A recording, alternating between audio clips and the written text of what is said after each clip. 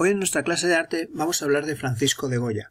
Francisco de Goya es uno de los grandes genios de la, de la, pintura universal y vamos a ver que es el precursor de algunos de los movimientos artísticos que estudiaremos eh, a partir de ahora con la, con la pintura más contemporánea.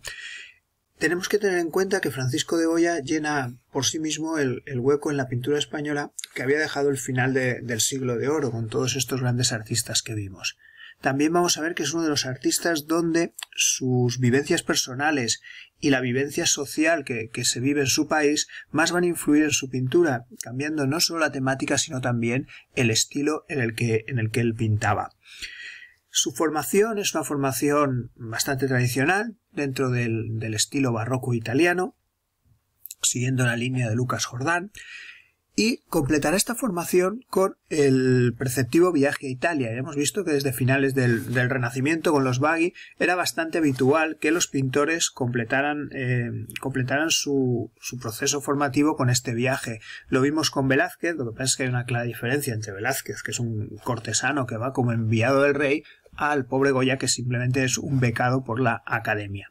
Bueno, sin embargo, aprovecha muy bien el viaje y consigue eh, formarse en el estilo que se había realizado en la Italia. Aquí tenemos una obra maravillosa como es Aníbal Vencedor, inspirada también en los modelos del barroco, con eh, una mezcla ¿no? de temas históricos, mitología y una realización muy, muy académica. A la vuelta realizará unas obras muy importantes como por ejemplo la decoración de la, de la Basílica de Nuestra Señora del, del, Pilar con unos frescos al estilo que hemos visto ya muchas veces este trampantojo de rompimientos de gloria que era tan habitual dentro del barroco italiano.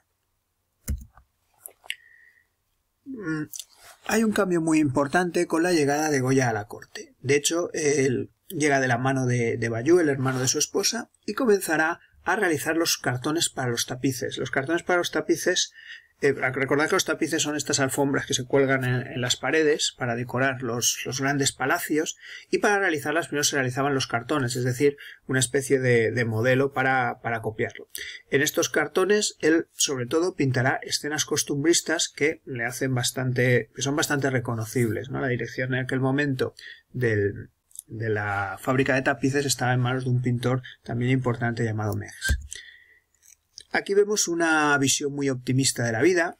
Eh, él ha llegado a la, a la, corte, va poco a poco a ir haciéndose un hueco, eh, primero con, con, la fábrica de tapices y después sobre todo ya veremos con los retratos que va haciendo de, los, de la gente importante del Madrid de la época. Veremos un predominio de colores, de colores claros, grises, rojos, también veremos cómo su pintura en esta época es un trazo continuo, un predominio del dibujo que poco a poco se irá perdiendo en favor del color y la temática, aunque a veces aparezca algún tema social, por lo general suelen ser escenas amables, escenas felices.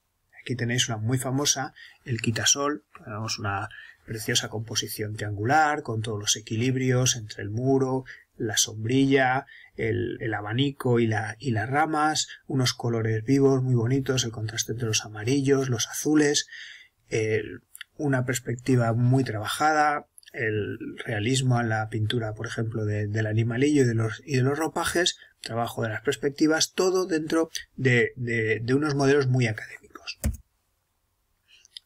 Esta obra es bastante interesante porque aquí podemos ver un, una, perspectiva, una perspectiva perdón, del, del, Madrid de la época, ahí lo vemos al fondo, el Palacio Real, la Almudena y la, la pradera de San Isidro donde se, donde se estaba celebrando la fiesta de, del patrón, ahí con los, con los majos y las majas aquí, pues disfrutando de un día de fiesta. Veremos el contraste enorme que habrá entre esta pradera de San Isidro pintada 1788 y una que pintará a posteriori, ¿vale? La misma, una romería donde veremos el contraste clarísimo entre su época, digamos, vitalista y alegre y la época de las pinturas negras.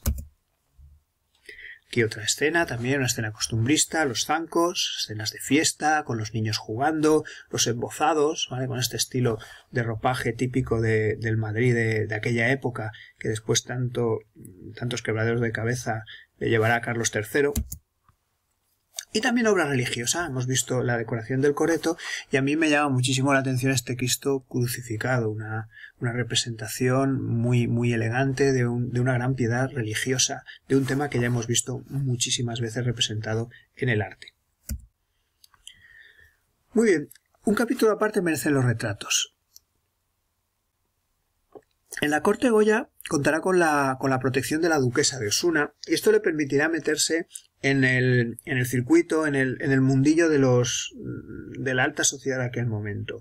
Sus retratos, marcados principalmente por una gran fuerza psicológica, serán muy cotizados en aquella época. Aquí tenemos un retrato de la duquesa de Alba o el propio retrato de Carlos IV, como os digo, un componente psicológico muy interesante dentro de esta, de esta obra, sin renunciar, caso podemos ver del cuadro de Carlos IV, a la pose, al aparato, sin embargo sí que vemos que hay un reflejo de cómo veía Goya a, estos personajes. ¿Vale?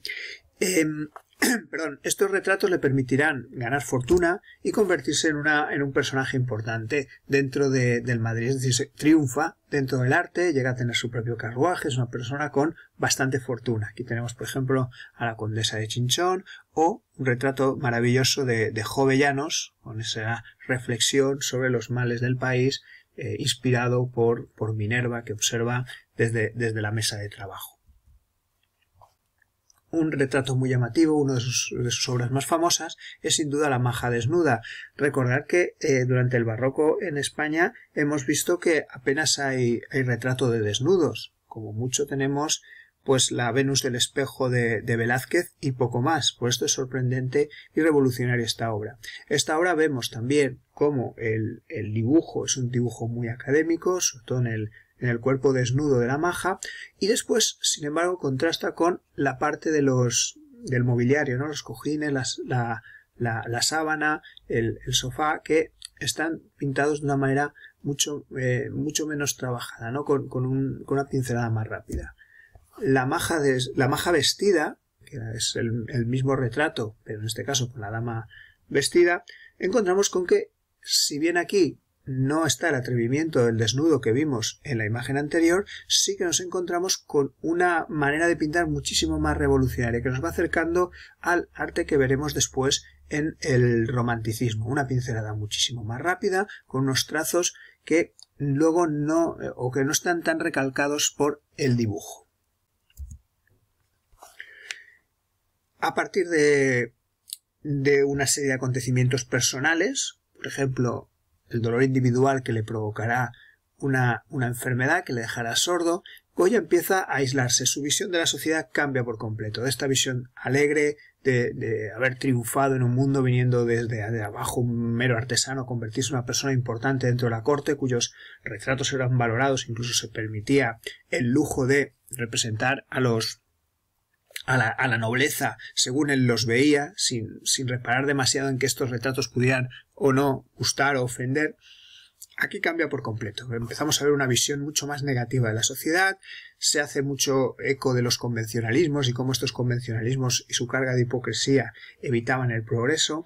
También piensa mucho, influido por los ilustrados, en la necesidad de una transformación de nuestra sociedad, abandonar las supersticiones. Y aquí vemos cómo eh, este sufrimiento y esta visión se va a ver también en su estilo. Cada vez hay una mayor presencia del, color negro, la pintura no solo va tomando pinceladas sueltas, sino que en muchos casos encontramos directamente manchas y el dibujo, que estaba muy bien trazado en los primeros cuadros que hemos visto, por ejemplo la maja la maja desnuda, poco a poco se irá rompiendo. Los temas, por supuesto, se volverán mucho más dramáticos eh, y sobre todo darán una rienda suelta a su fantasía que casi le convierten en un precedente de lo que será posteriormente el surrealismo.